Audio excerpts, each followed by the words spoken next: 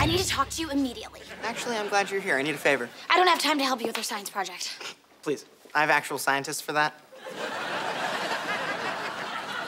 I need a tennis judge. Word on the street is you can help. What? I'm not a tennis judge. So you just made that up. Yes, but listen. Who makes up something like that? Who needs a freelance tennis judge? Actually, I'm hosting my annual charity tournament. I don't want to lose again. Oh, I see. Well, as much as I'd love to help you cheat for a good cause, I can't. Why? Oh, yeah, because I'm not a tennis judge. Uh-huh. So what'd you want? Some answers To what?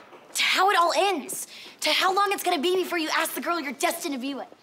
I'm not sure I can answer that. Aren't you in charge of your own destiny? Uh, I guess. Well, then it's time to say enough. I mean, when two people are this right for each other, there's only one thing to do. How long have you felt this way? Just since yesterday. It hasn't been long, but it hit me like a ton of bricks. I mean, I guess I feel the same way.